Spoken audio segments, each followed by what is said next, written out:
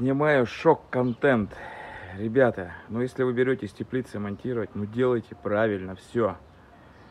Вертикальный раскрой.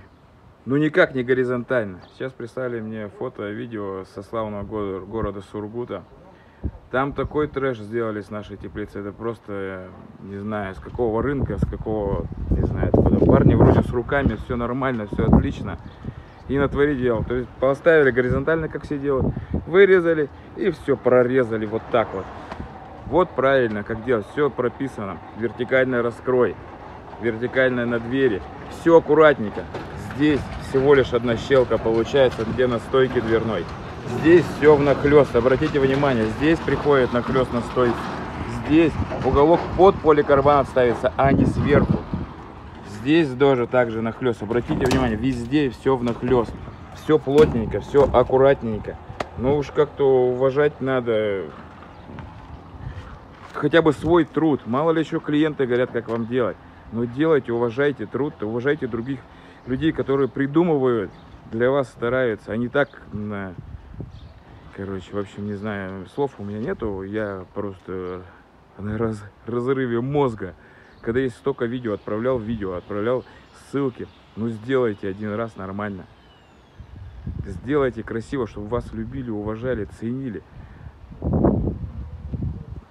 Просто в вахтунге. Ай, Как можно еще учить? Ребята, давайте жить дружно.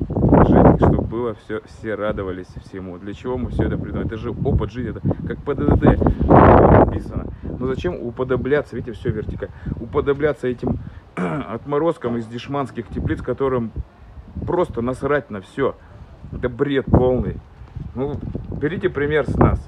Будьте лучшими. Берите самое лучшее хотя бы у нас. Если вы не хотите придумать велосипед, возьмите нахрен этот велосипед и сделайте еще лучше. Ну не делайте из велосипеда самокат. Понимаете? Не делайте самокат. То есть это как взять шоколадную конфету, вмакнуть его в говно и потом сожрать. Просто у меня эмоции переполняют. Бредятина такая полная, бля. Еще сейчас они пишут мне по WhatsApp, что это придумал клиент. Это клиент наш подписчик, который за нами следит и смотрит. Как он может придумать такое? Я бы на месте заказчика просто попросил этих парней переделать, заставил бы их и денег не заплатил бы. Вот и все. Решение проблемы. Легкое причем, в легкую. Ну, если клиент любит так кушать, ну пусть кушает тогда. Извиняюсь, конечно, за мой английский, но я просто в шоке. Взять и так.